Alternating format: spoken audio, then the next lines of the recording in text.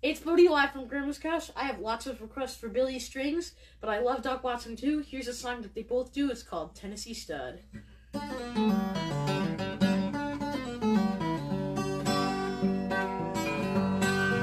about 1825, I left Tennessee very much alive.